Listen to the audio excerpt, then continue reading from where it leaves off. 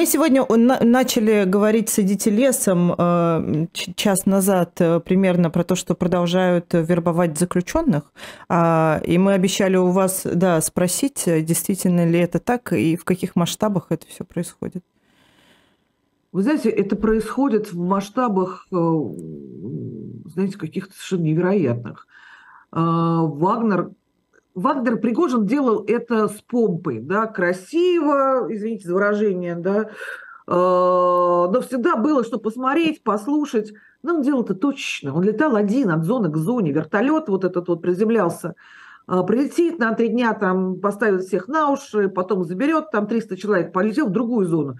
И было очень удобно считать в столбик. Когда у тебя в каждой зоне и в каждом регионе есть свои информаторы в зонах, ты просто считаешь столбик по головам. Туда прилетел, сюда прилетел, столько взял, столько взял.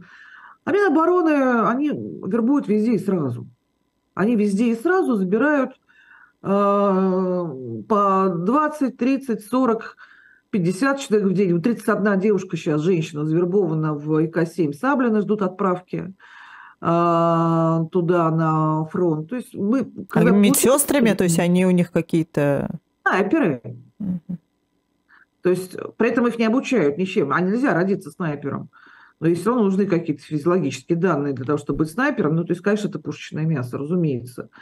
Ну, то есть у нас есть какие-то вот сведения от одной зоны, другая зона, третья зона, но они просто везде и сразу. И я считала тем же способом, что и с Пригожиным, так, столбик, что медиазона тоже считает, но медиазона считает э, по э, статистике в СИН – Э, по уменьшению прибыла, убыла и так далее. И они считают погибших по, по кладбищам. А, а мы считаем вот по нашим информаторам. И я посчитала вот с февраля по октябрь, что они завербовали тоже не меньше 50 тысяч Минобороны. А когда СИН обнародовал свою статистику, что на сегодняшний день сидят в зонах 266 тысяч человек, а было на секундочку 420, а, на начало войны, стало понятно, что я где-то вдвое ошиблась. А, забрали-то гораздо больше, уже так под 100 уже забрали. Это Минобороны. А, и сейчас, сейчас усилился поток желающих довольно серьезно, потому что сейчас в зонах начали создавать эти столы воинского учета, отдельные от военкоматов, а, приняли эту поправку. Смотрите, а, раньше Пригожин приезжал и говорил, айда со мной, а, потому что вот сейчас тут какой-то контракт со мной. И через полгода свобода, и это да, все понимали, это было очень важно. А если вы со мной не пойдете, вас все равно забреют насильно под мобилизацию. Потом пошло Министерство обороны, и они стали говорить, давайте контракт с Минобороны, у нас, а, нет внесудебных казней, б, если не пойдете на контракт, вас все равно будут мобилизовывать. Но Министерство обороны забирает до конца войны. Это да, же все понимают. Да, уже, уже да. А теперь у нас столы воинского учета, и теперь у нас призыв в зонах. А, поэтому а, все это прочитали и пошли вербоваться на контракт, потому что ну хоть что-то. Все равно заберут. Все равно заберут.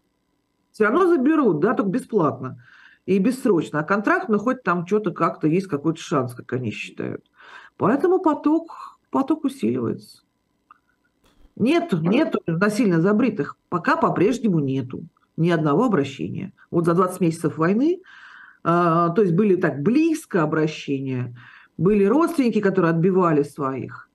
А так, чтобы человек, который подписал контракт, один раз было, когда это в Свердловске, Свердловской области, э, парень поссорился с девушкой и подписался.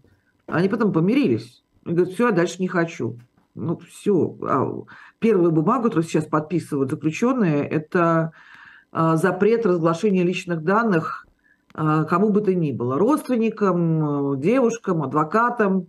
Ну, все, все. Где ты, что с тобой, нельзя сообщать.